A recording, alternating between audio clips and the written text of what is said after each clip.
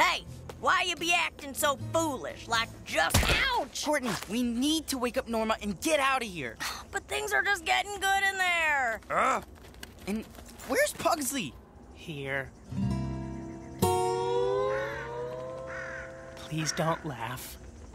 Come on, it's not funny. I'm scared of heights.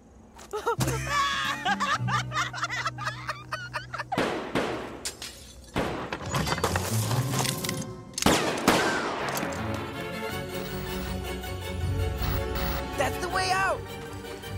Whoa, whoa, hey, who said you could? Wait, what about Norma? She's having the